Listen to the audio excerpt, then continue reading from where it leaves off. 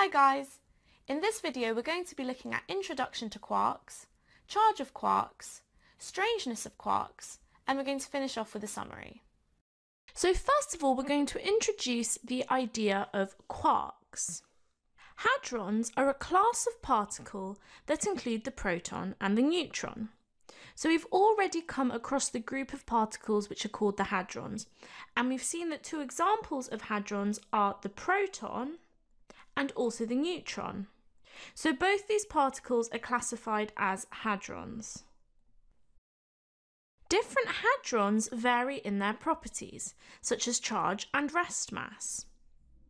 So we can compare the charge of protons and neutrons. So here we have a proton and here we have a neutron. So we know that the charge of a proton is equal to plus one. It's got a positive charge. And we know that a neutron is neutral, so it has zero charge. And we can also compare their masses because in fact, although they've got very similar masses, their masses are slightly different.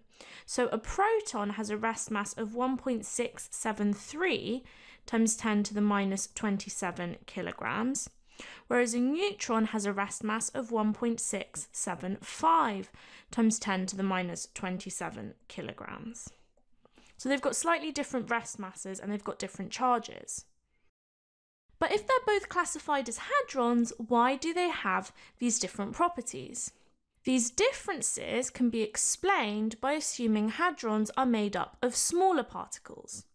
So if we were to take a closer look at a proton, we'd find that it's actually made up of smaller particles. So we've said that hadrons aren't fundamental particles, which means that they can be broken up into smaller particles. So they're made up of other particles that are smaller, whereas leptons that we've previously encountered are fundamental particles, so they can't be split into smaller particles. And we call these smaller particles quarks. So the particles that make up protons and neutrons and other hadrons are called quarks.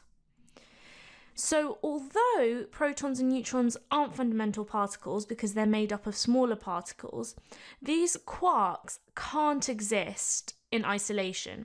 So, they must be combined in order to form other hadrons. There are three types of quarks, referred to as the first generation quarks, termed up, down, and strange. So here we can see we've got our different quarks. So our blue circle represents the up quark, our red circle represents the down quark, and finally our yellow circle represents the strange quark.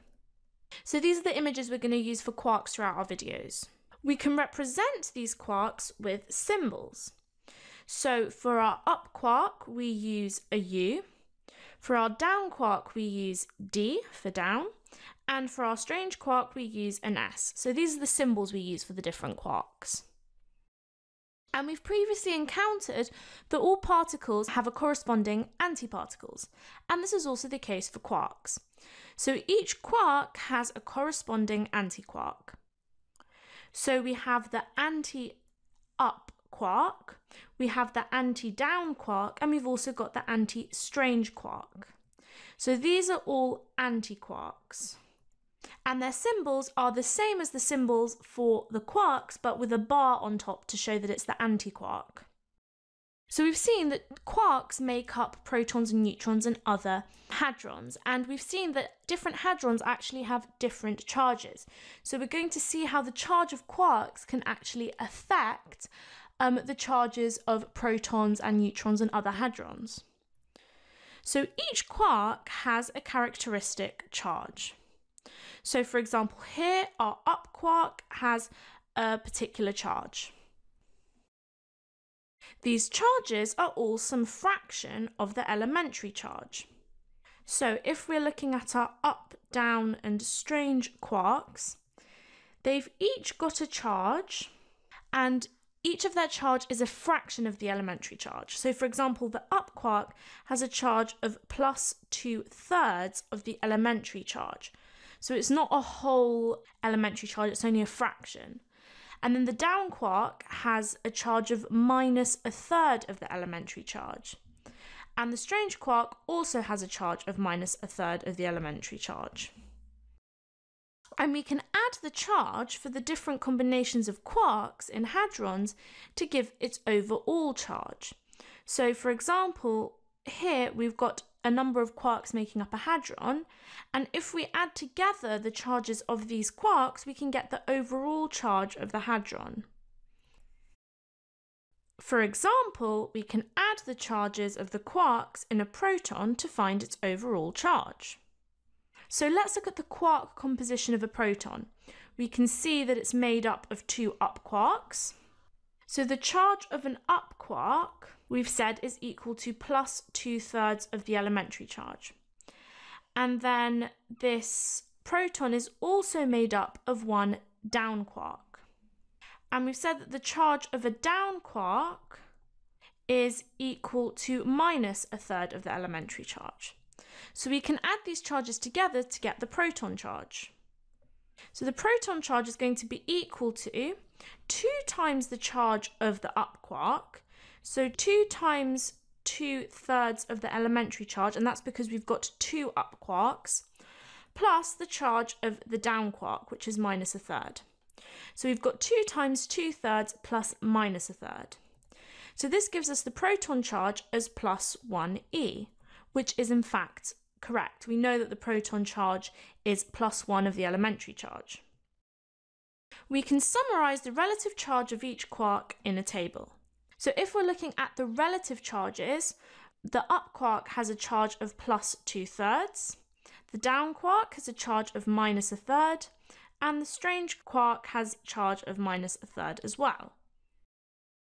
An antiquark has the same magnitude of charge as its corresponding quark, but the opposite sign.